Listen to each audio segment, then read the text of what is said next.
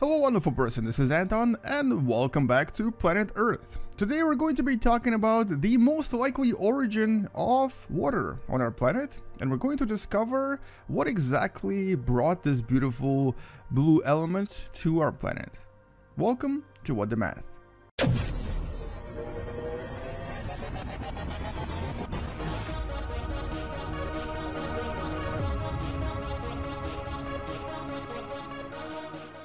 So by now you probably have heard of at least one or maybe even a couple of theories on what actually brought water, the blue stuff on the surface, to our planet. We obviously take it for granted, but it's actually surprisingly rare to find a planet that has so much on the surface, especially in liquid form. Uh, now, what is interesting is that for the longest time we actually thought it was either asteroids or comets or even just some large collisions uh, bringing the elements uh, through essentially just, you know, delivery by colliding straight on with our planet. Uh, and uh, it does make sense, right? But the thing is, we've studied meteorites and we've even studied comets and discovered that the water composition of that particular water is actually different from the water we have on Earth. Specifically, the elements that you would normally find uh, in between the molecules were just not the same. And then we actually looked at another object, specifically the moon, and discovered that the water on the moon, yes, there is water on the moon, the water on the moon was actually almost identical to the water on Earth, which implied one thing.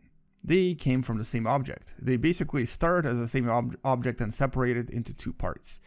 Alright, so so far so good. So we know that water may have already been on both of these objects and or something brought water to moon and earth from space.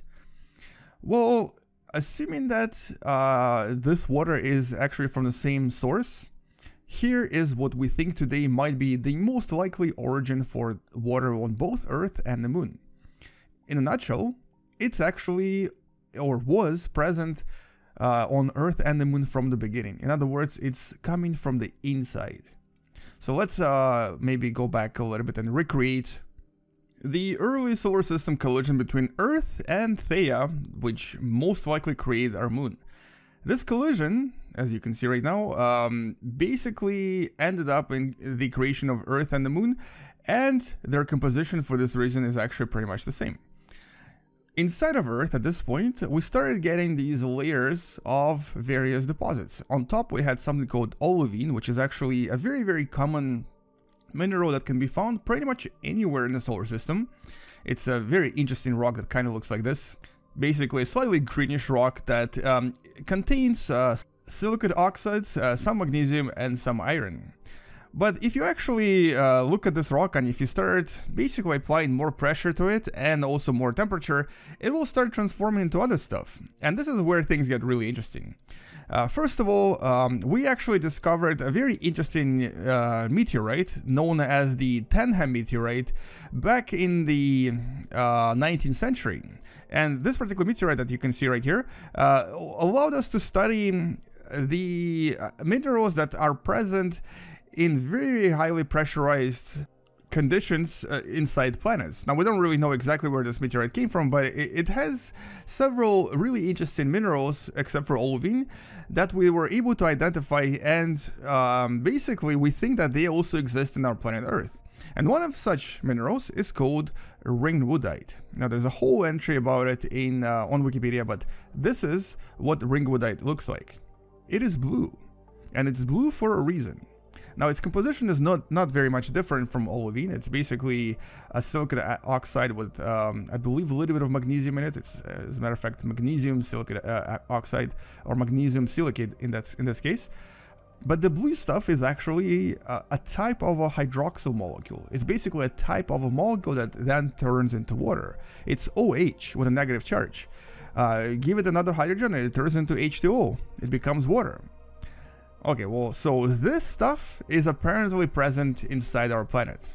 And specifically, it's actually located right here at the cross-section between 410 and 660 kilometers deep inside the ground. So obviously, this is the surface, the ocean is here, the uh, this is where you walk. And then as you kind of keep going down lower and lower into Earth, um, you will first find a lot of olivine, this is olivine, And then you'll discover this so-called hydrated layer that um, is half ringwoodite and half this other um, mineral called um. And this is essentially where you'll also discover a tremendous amount of uh, water, or specifically hydroxyl molecule. And even though it may seem unlikely, we've actually even discovered diamonds that came from this particular region that were basically rich in water. And this is very unusual because we never thought that there would be so much water present here.